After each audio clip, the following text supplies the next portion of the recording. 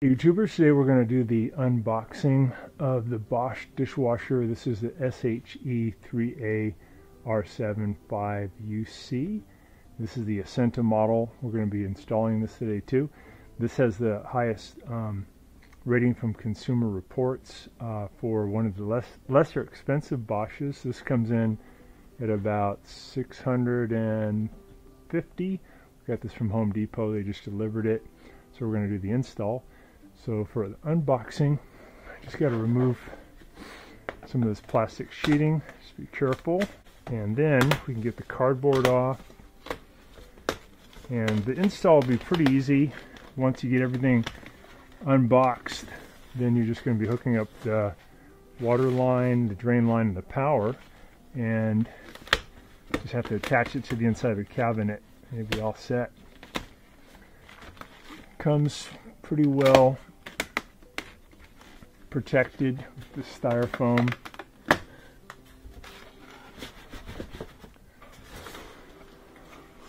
And you know, it actually is not as big as it looks in the packaging. It has all this protective stuff around it. Just lift off these little pieces of wood. Get these off. And put these uh, styrofoam pieces in your recycling.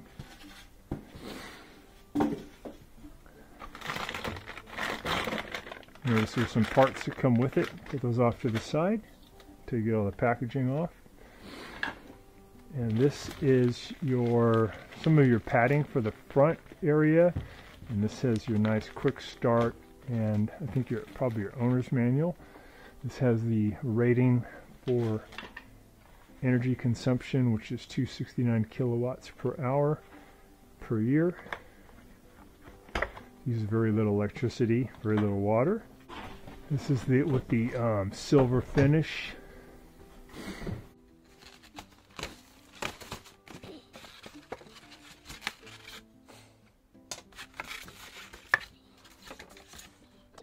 Styrofoam pieces all off, and then it's on a styrofoam base, so you can just tilt it,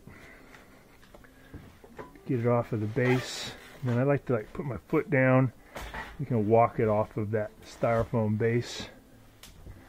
They're actually pretty light. We just um, pulled out our Miele dishwasher that we had for many years. It's a great dishwasher.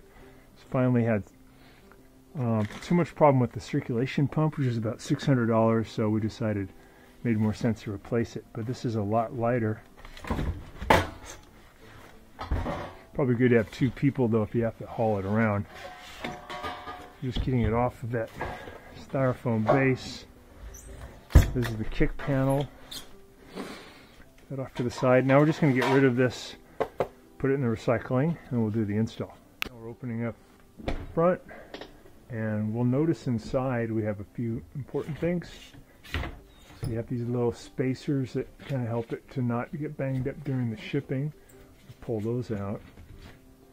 More styrofoam That little one over here. Get out so you can pull out this basket.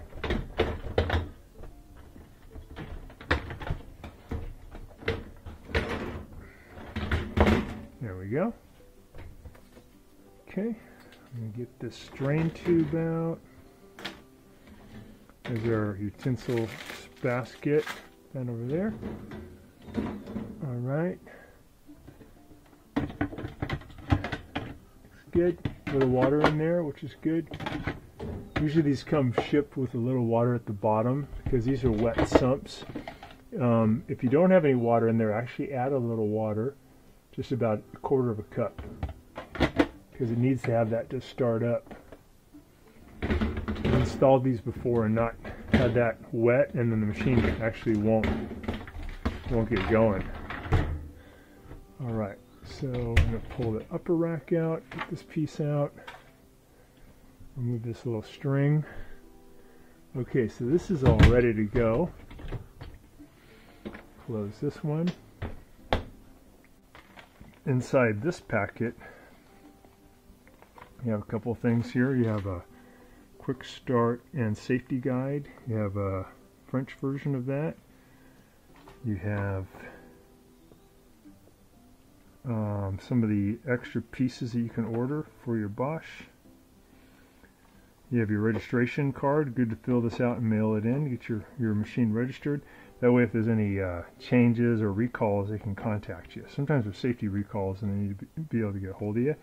Have your owner's manual, give you information about your installation and also about how to use your machine. And in this one, you have some of the hardware for installation. And this one gives you um, one of the soundproofing pads that go in the front after you've done some of some of the other installation steps. So we're going to get that off to the side, put that near the kick panel and near the drain hose.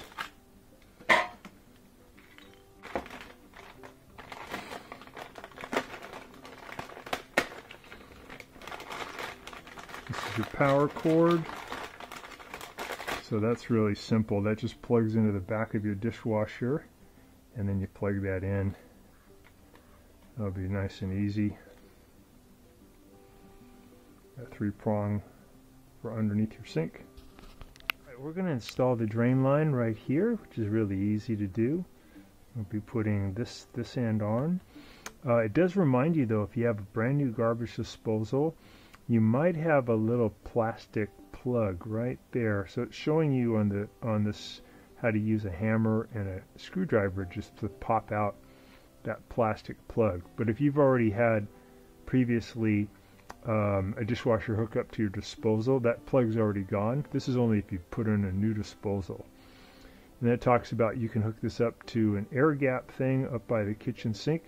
If you don't have an air gap, it's okay you can just make sure that you have the drain line go through a high loop as high up as you can up into the under part of the sink and then back down to the um, garbage disposal. That high loop is important because if water fills up the sink, it'll fill up the disposal. And if you don't have that loop, that water will flow backwards and pollute your dishwasher. So you either want this air gap thing we see in B or like in A, I want this big loop. That's just reminding you of that. So you can take that off, leave it on if you want. And this is the one that'll go to your disposal. Comes with a kit, which will have a little hose clamp for you.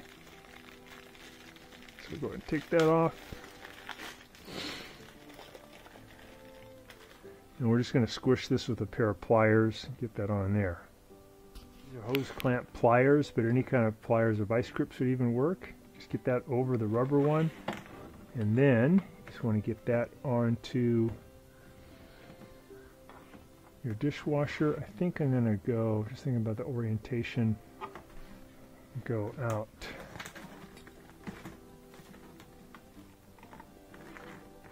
this way. Just going to push that on far as it'll go. Alright, and then I'll get the hose clamp all the way on there. And then I'll let go of the tension. And that'll be on nice and tight. We got it. Alright, next thing we'll do, hook up the power connector right here.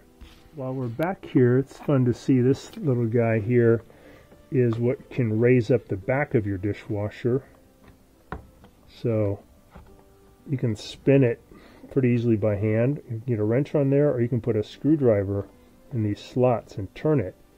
And if you go to your left, it's going to raise up the back of the dishwasher. Go to your right, it'll lower it.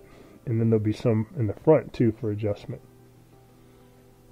At this point, I'm going to start feeding some of these things through the hole in the cabinet back here.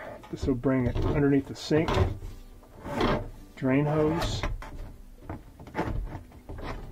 and the power cord. Bring power to the dishwasher.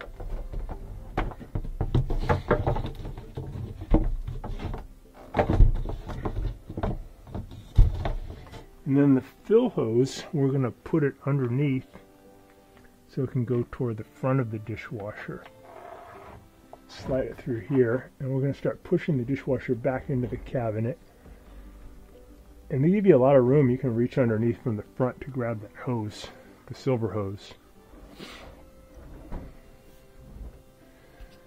Sliding that back, we're going to make sure the insulation, sound insulation, is nice and in position and not getting snagged on anything. As it goes in, try the other side.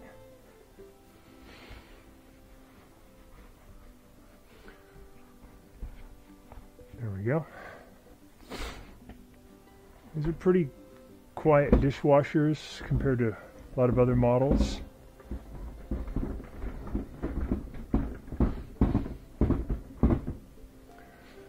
So I'm going to pull on my drain hose a little bit now. More of it to come through. Pull a bit more on my power cord. Looks good. Now I can push this in a little more.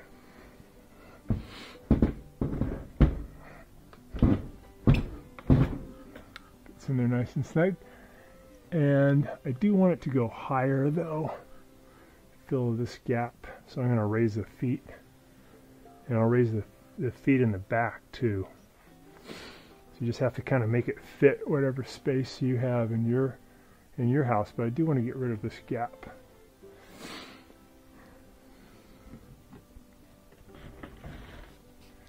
So what I'm doing is I'm tilting up the dishwasher with my hand, and then I'll spin these guys down. They're pretty easy to spin out. And then in the back, I want to get that one too. You can use a wrench to get that one in the back or a screwdriver, but I want to turn it that way to get the back to come up. This is where we hook up where we hook up the water line. So there's a little brass thing you have to get, um, hose connector that's a pretty big one that goes into a little one, and the little one hooks up to here. And they're pretty cheap. You can get them, get them at Home Depot or hardware store. We'll show you that in a second. I'm going to check to see if it's uh, level before we finish installing by putting some screws in to hold it into the cabinet. So these dishwashers do really well if they are level. Let's see how we're doing. So, it's about right in the middle. Looks pretty good on the this plane. You don't want it to be too cattywampus like like that, like that. Feel like that water flows to the front feel like that water flows to the back of the tub. So fairly level, could be slightly off is okay. All right, I think we're good. So you want to look at a couple things before you screw it in. Make sure that this is straight. If it's not, you can grab it and you can tilt it until it's straight. Look at the side and reference it to the sides of the cabinet. Like these are straight, and you say, are these straight? If they're not, you could mess with the feet a little bit to get them to get straight. So if you want to make any adjustments underneath the dishwasher, you can move these feet pretty easily with a pair of pliers. You can do it with your fingers. Um, you can put a screwdriver in the slot and turn it. And then there's one in the back. Kind of hard to see in the video but it's the same thing. You can just reach in with your hand and move it. Now we're going to hook up the water supply. And to do that, your dishwasher doesn't come with this, but you can get one of these kits. This is the Eastman Steel Flex Universal, fits all models, six feet, gives you one of these. But really you're looking for not this brass elbow, but this round one. Let's get that out of there. This thing and this allows you to connect to this one. So all you, all you got to do is get it underneath here. Open this up so you can see a little better. And I'm going to very carefully spin this brass nut. I don't want to cross thread it because it's metal going onto plastic and it should go on very easily.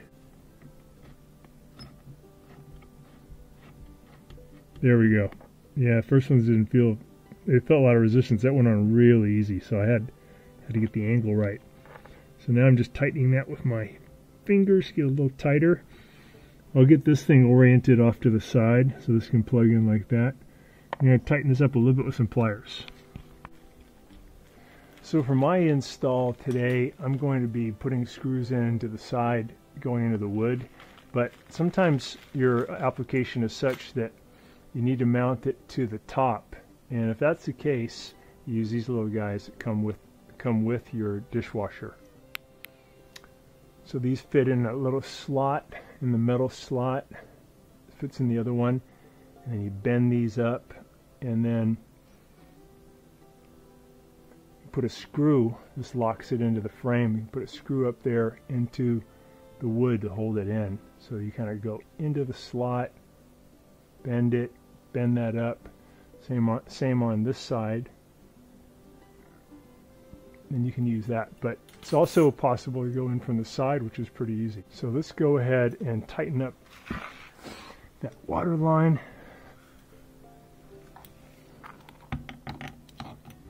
I'm just going to give it a little bit of a turn with the pliers, not much. I don't want to. I don't want to strip out those plastic threads. I just want to get it snug. Go and put on this water line. Again, you just got to make sure it's threading on nice and easy. Shouldn't be any resistance until it gets on there pretty far.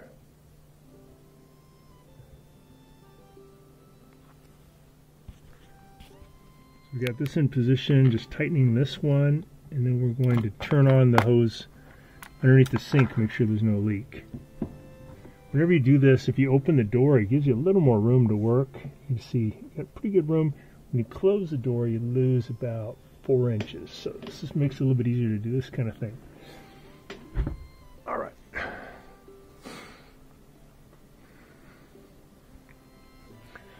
So we're going to turn on the water supply. Sometimes when you turn older valves, either all the way on or all the way off, they're going to leak a little bit.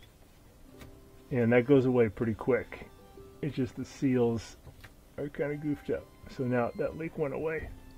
It's on full blast. Let's see if there's any leaks underneath.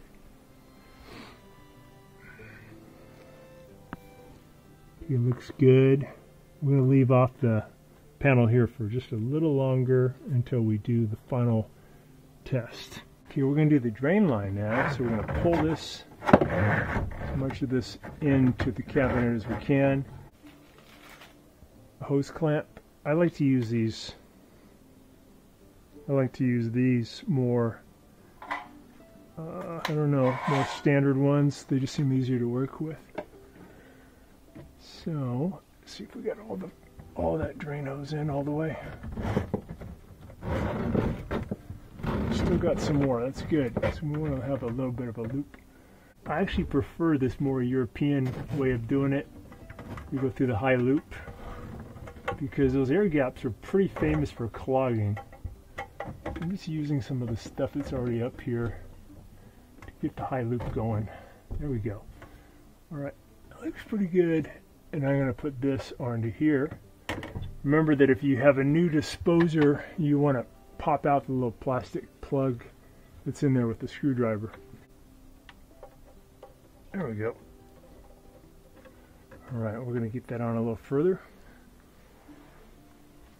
You can put a little vegetable oil, vegetable oil or some kind of oil on this piece and that can make it easier to get these rubber pieces to go on. There we go tighten that up.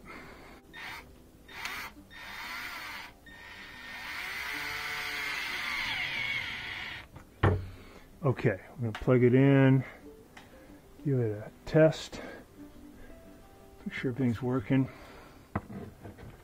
Remember that underneath your sink you probably have an outlet that's dedicated to um, garbage disposal and one that's dedicated to dishwasher you don't want to get them mixed up because the one for garbage disposal only has power when you turn on the switch and this one has power all the time.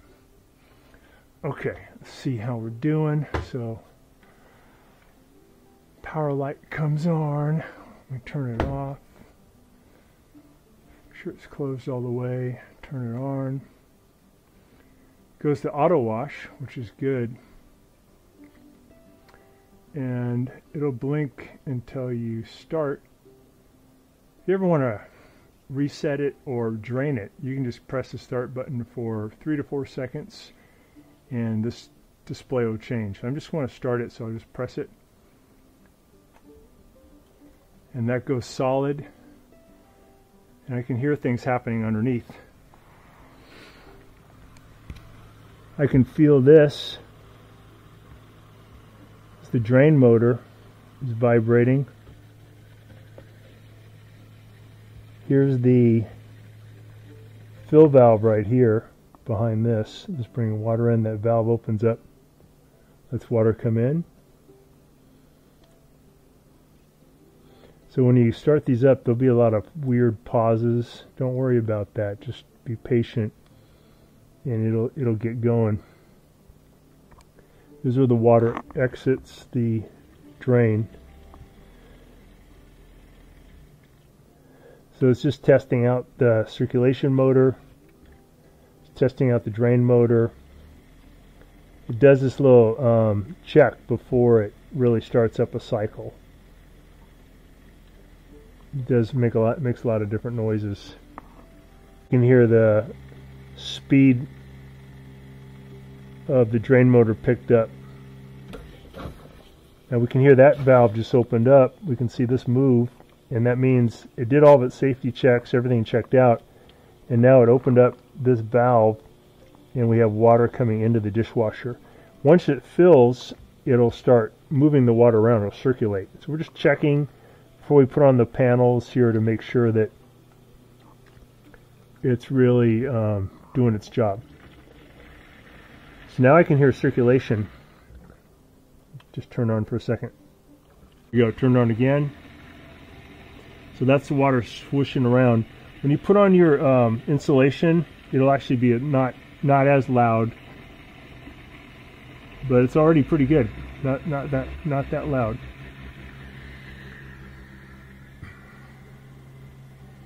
So if you open the dishwasher door now, you'll see water squirting around.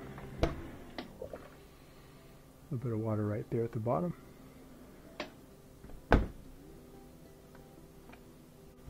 So when I opened it up, it stopped it, and then I press the button, starts again.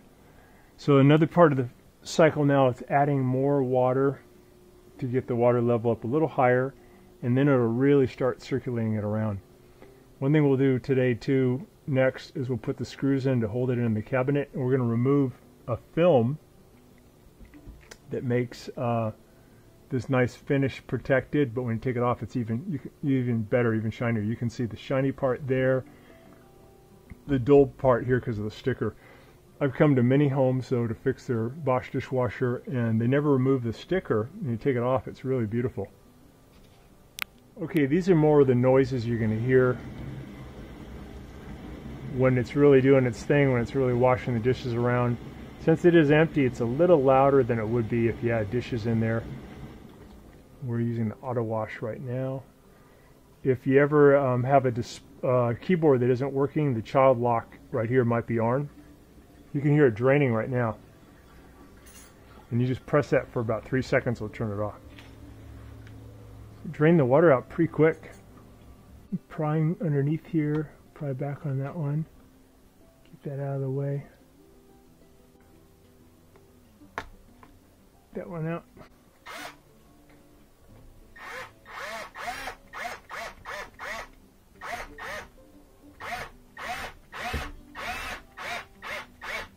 Put a little light pressure there, not heavy. Okay. And it's possible even to not even have to use fasteners if you get this really in there tight by lifting the legs, but it doesn't hurt to have fasteners in there. All right.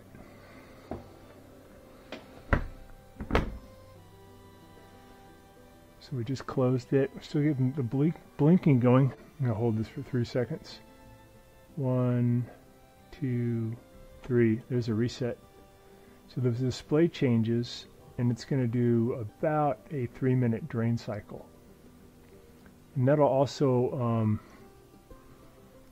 erase any uh, codes, like if you had a, a code of uh, some type of an error shows up, by pressing that for three to four seconds. it'll drain out any water that's in there. It'll uh, allow you to start over a cycle and it'll get rid of any stored um, codes that are in there. Now, if there's still a problem, the codes may come back on a subsequent cycle, but it's a pretty good feature. So right now it's just draining out any water that's in there. We got the screws in, and next we're going to take off this plastic sheathing that's covering the door. Starting from the bottom, I'm just going to pull. Take you a little time to do this. Try to go slow so you can get a big chunk of it to come off with you so you don't have to do it in a lot of little pieces.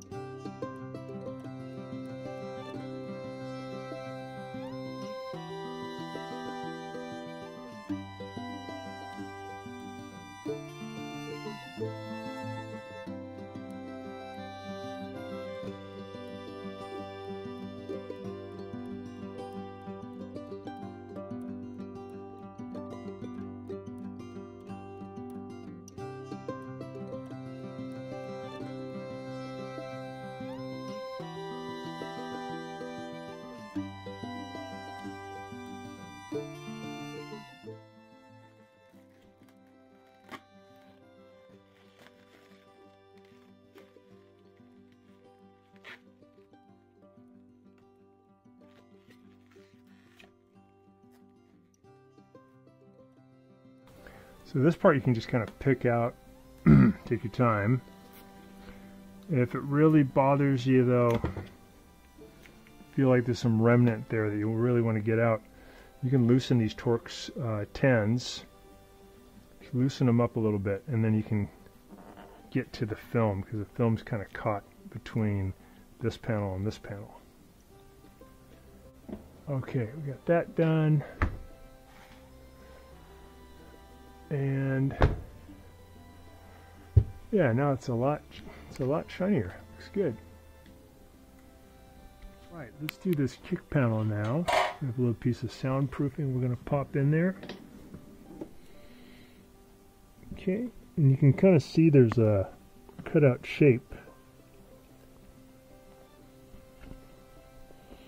We're just matching that and that's just gonna allow for a little more soundproofing.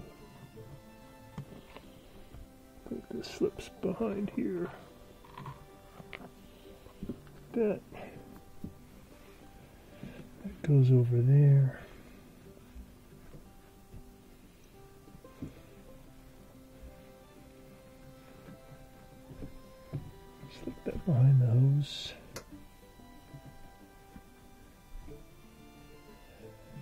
It's just uh, sound deadening material. It does help a little bit.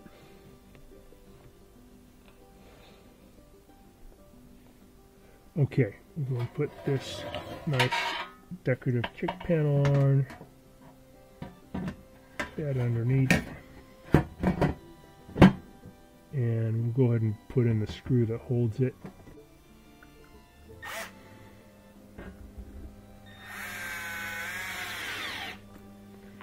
That one. And the next one.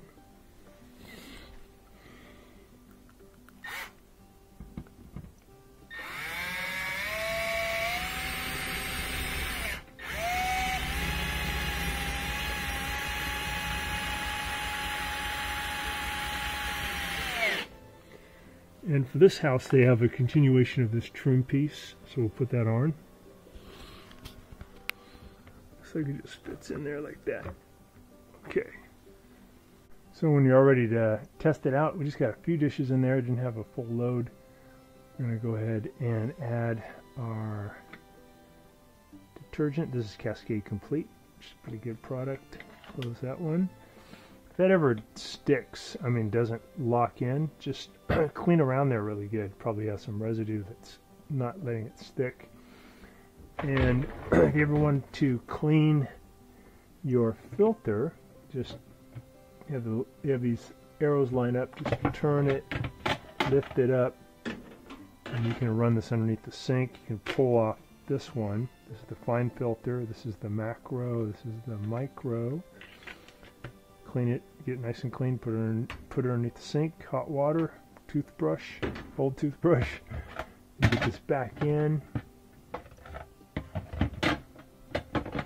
Push it down in. And I'm going to line up these arrows.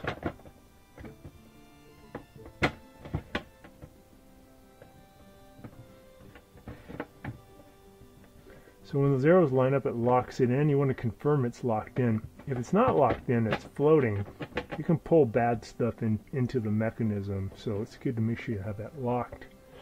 You can pull these up and clean out any debris that, build up in there. All right, so I'm going to shut that. Shut that one, turn it on, get that display, press start keep the solid and it'll take a little while for it to fire up but be a good test so it looks pretty cool I like it right we got it installed it's been running for a little bit now doing a good job cleaning I think it looks really good it's very quiet it's only 50 decibels So you can easily carry on a conversation. Um, I think this is as quiet or maybe even quieter than the Miele Incognito that we had here previously. Looks good. Let's take a look inside. So it's just in the wash part of the cycle. Everything looks good.